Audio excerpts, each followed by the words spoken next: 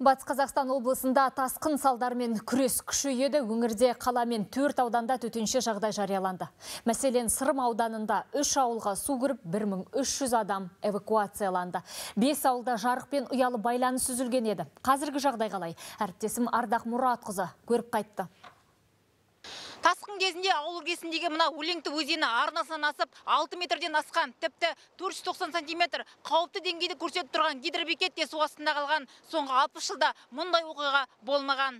Ағасы дес бермеген өзенге жауын шашын қарғын су қосылып, ондаған үйге су жайылған. Салынғанына үш жыл болған мына үйдің де іргесі шөгіп, қабырғасы құлағалы тұр. Қаладан кеттім. 15 минут уақытта келгенде уже дейтін бәрі кетіп қалған уже. Балдардың бәрін шығарып үлгерген көршілер көмектесіп әйтеуір төрт баламыз бар қазір тұруға жарамсыз. Көріпсіздер уже. Үйдің тастары бәрі үгіліп.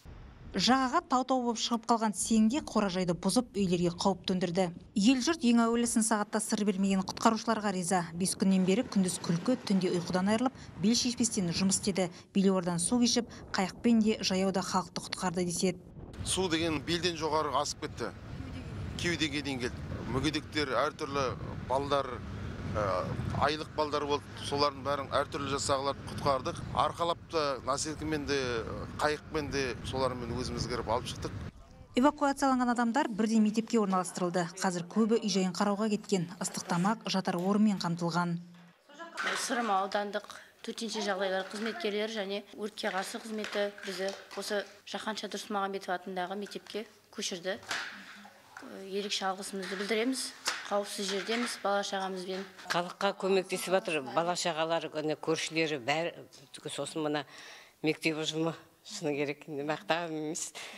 Көтеннен келе қыздарым ғой енді олар дымдар қалмай көмектесіп жатыр. Тамақ жағында кәдімгі үйіңнен артық тамақтар нетіп жатыр жақсы тәрбиелеп жатыр әйтеуір қазір өзен деңгейі түсті. Ауданда төтенше жағдай жарияланды. Шығынды анықтау үшін арнайы комиссия құрылды. Өлеңті және жымпиты ауылында 216 үйдің тұрғындары эвакуацияланды. Бұлдырт ауылында эвакуацияланды. Барлығы жалпы саны мың үш жүз жиырма жеті адам қауіпсіз жерге көшірілді. Кеше кеште бүкіл ауылға жарық берілді.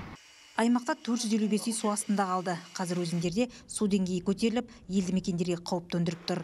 Ардақ мұратқызы қайырбек ерболатұлы қазақстан ұлттық телеарнасы батыс қазақстан облысы.